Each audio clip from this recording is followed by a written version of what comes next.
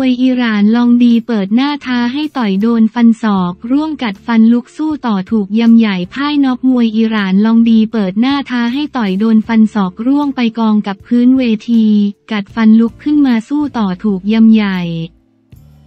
สุดท้ายแพ้น็อกไปในยกที่สองในการชกมวยไทยช่วงหลังมักเห็นนักมวยยื่นหน้าให้คู่ต่อสู้ต่อย เป็นการแสดงออกว่าสามารถทนพลังกำปั้นของคู่ต่อสู้ได้ แต่ก็มีให้เห็นไม่น้อยว่าการเปิดหน้าให้คู่ต่อสู้ต่อยนำมา ซึ่งความพ่ายแพ้ ล่าสุดในการชกคู่เอกศึก Fairtex Fight มวยมันพันธุ์ Extreme วันที่ 9 กันยายน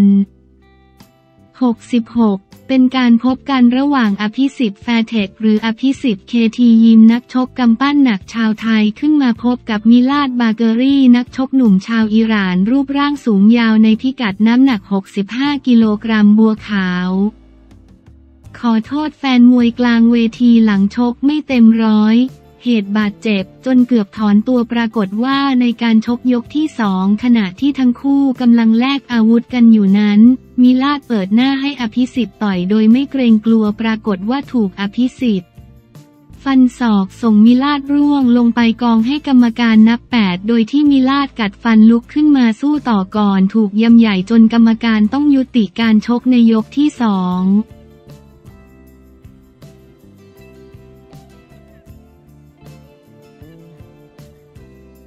บัวขาวขอโทษแฟนมวยกลางเวทีหลังชกไม่เต็มร้อย เหตุบาดเจ็บจนเกือบถอนตัวบัวขาวบัญชาเมฆนักชกคนดังชาวไทย ประกาศขอโทษแฟนๆกลางเวทีมวยราชดำเนิน หลังจบไฟที่ขึ้นชกกับยาสุฮิโรคิโดะนักมวยคิกบ็อกซิ่งชาวญี่ปุ่นเนื่องจากเจ้าตัวมีอาการบาดเจ็บจนชกได้ไม่เต็มที่ ศึกมวยรายการ RWS Legend of ราชดำเนินที่เวทีมวยราชดำเนินกรรมการชูมือให้บัวขาวและคิโดเสมอกันไป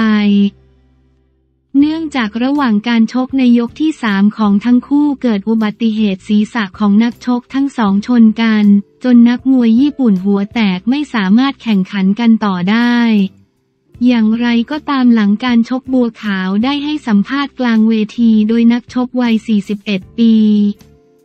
กล่าวขอโทษแฟนมวยที่เข้ามาชมการชกไฟดังกล่าว โดยระบุว่า บัวขาวมีเรื่องหนึ่งจะบอกมีเรื่องในใจจะบอกจริง ๆ แล้ว วันนี้บัวขาวเกือบไม่ได้มาชกรู้ว่าทุกคนรอดูเมื่อห้าวันที่แล้วบัวขาวเกิดอาการป่วย และไม่ได้มาแถลงข่าวเลย ส่งคิโดะมาแถลงข่าวคนเดียว เพราะบัวขาวรักษาตัวอยู่เหตุเกิดฉุกเฉินมาก โดยเกิดอุบัติเหตุกล้ามเนื้อกระตุก ปรึกษาทางทีมงานว่าจะเอายังไงดี จะยกเลิกการชกในครั้งนี้ ก็ไม่ได้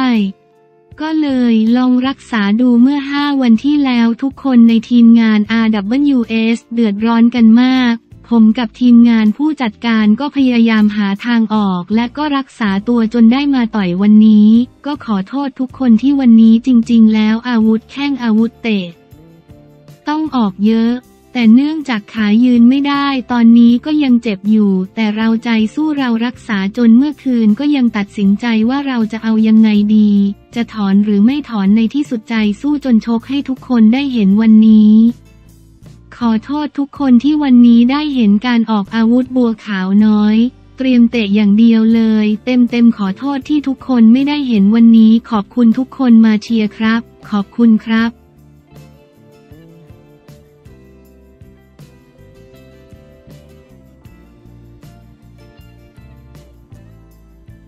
บิ๊กโจ๊กจวกตำรวจพฤติกรรมชั่วแฉหนึ่งในนั้นจับ หน่อง แล้วปล่อยเอาปืนไปซ่อนจ่อออกราชการบิ๊กโจ๊กจวกตำรวจพฤติกรรมชั่วแฉหนึ่งในนั้นจับหน่อง แล้วปล่อยเอาปืนไปซ่อนจ่อให้ออกจากราชการวันที่ 9 กันยายน 66 ภายหลังจากพลตำรวจเอกสุรเชษฐ์หักพานรองผู้บัญชาการตำรวจ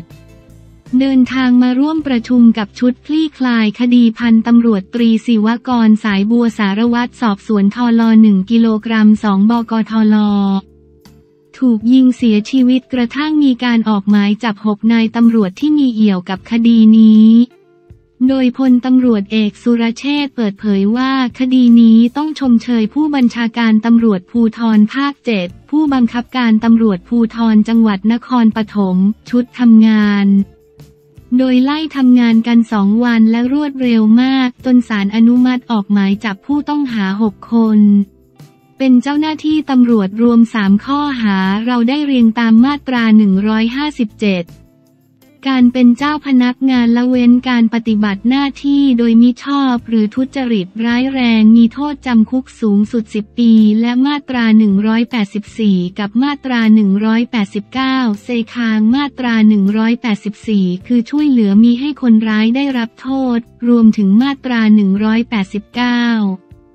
คือช่วยเหลือซ่อนเร้นพยานหลักฐาน ทั้งเซิร์ฟเวอร์ กล้องวงจรปิด และอาวุธปืนทั้งนี้เจ้าตัวให้การรับสารภาพเพียงบางส่วน แต่จะรับสารภาพหรือไม่รับสารภาพ ไม่ใช่ประเด็น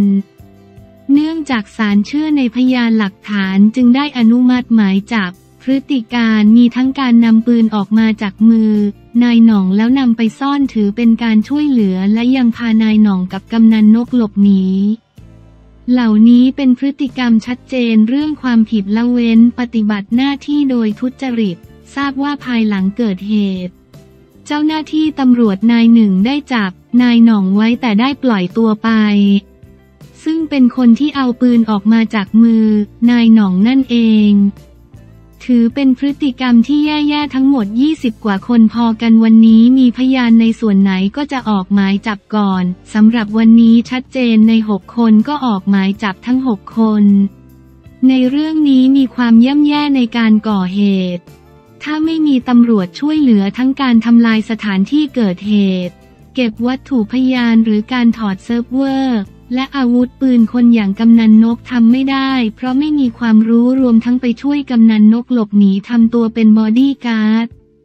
อีกทั้งรองสารวัตรจราจรที่ไปซื้อปืนให้ กำนันนกเอาไปให้มือปืนใช้ และยังเอารถกำนันนกไปซ่อนที่บ้านอีกหลังถือเป็นเรื่องที่ย่ำแย่มาก ฉะนั้นพฤติกรรมชั่วๆแบบนี้ปราบให้หมดเบื้องต้น ทราบว่าทุกคนยอมทำเพื่อกำนันเพราะทำตัวเป็นลูกน้องจนเคยชินคำว่าอิทธิพลไม่มีหากตำรวจไม่รู้เห็นเป็นใจคนเหล่านี้เกิดขึ้นมาได้ เพราะตำรวจเป็นเบให้ตำรวจบางคนอยู่มานานฝังรากลึกกรณีที่กำนันนก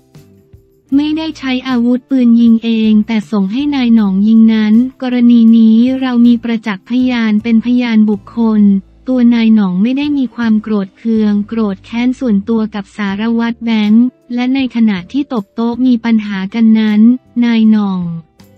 ก็อยู่อีกโต๊ะหนึ่งฉะนั้นมูลเหตุจูงใจมันต้องมีคำสั่งให้ยิงสำหรับตำรวจหกนายขณะนี้มีคำสั่งจากสำนักงานตำรวจภาคเจ็ดให้ออกจากราชการไว้รอแล้วส่วนตำรวจทางหลวงนั้นจะต้องรอให้ต้นสังกัดพิจารณา